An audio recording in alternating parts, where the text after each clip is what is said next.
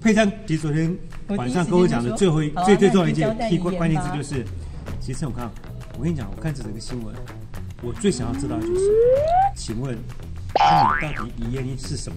对，他比较想知道我遗言是什么？还没有完成的心愿。因为他还不知道，应该我的密码什么都知道，我都知道，不用特别交代。所以问我的时候，我还真的没有想到什么遗言，因为我们平常该说的话都有说。嗯，有什么想法，有什么梦想，都会在有生之年赶快完成。因为有妈妈在那个生日，就还会再回纽西兰吗？就来来回回，来来回回，看需求。没有，就是他们平常回来了啦。小朋友都我们 base 在台北那边啦。对他们只是在那边念书，我们就是偶尔去看看他们，不用念书的回去伴读的需求结束了。就女儿也还没念完吗？念完啦，上班了，就是儿子上儿子，儿子大三。不，女儿已经上班之后开始贴补家用。对，嗯，然后贴补水电费。打工跟上班嘛，所以还好嘛，好，还算贴心，没有太大的负担。不过我们俩就基本上在台北，就是工作什么都在台北。他们那边就是过年可能会回去一两个这样，跟他们一起过年，因为他们过年没放假。嗯。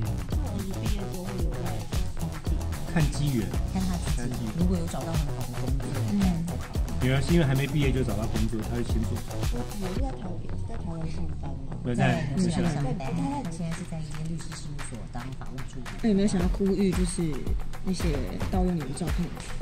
我被盗用很多了，骗财的啦，骗色的。对，通常是一开始用我的照片去交友。还有软体交友软体出现过，然后有在脸书对，跟在脸书上。我都是朋友跟我解读说，什 么你干嘛失去我？这是不是？他也可以加个 line 吗？哎，就是他留下面留言，就是很高兴有机会在这里可以跟你认识认识，希望我们有缘能够进一步联络。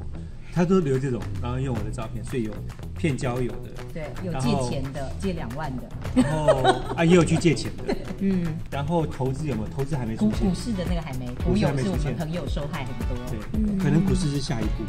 我我觉得你已经直接跳过股市的那一步，对，我觉得股市那是上一步，我已经先是下一步，对我已经直接到了往生电台，就是被用过很多次，就不堪有点不堪其扰，因为之前就。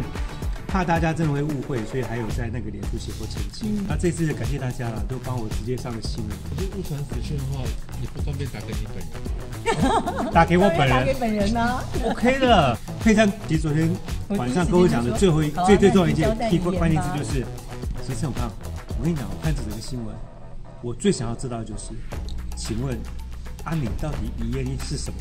对，他比较想知道我遗言是什么，还没有完成的心愿。因为他还不知道，哎，应该我的密码什么你都知道，我都知道，不用特别交代。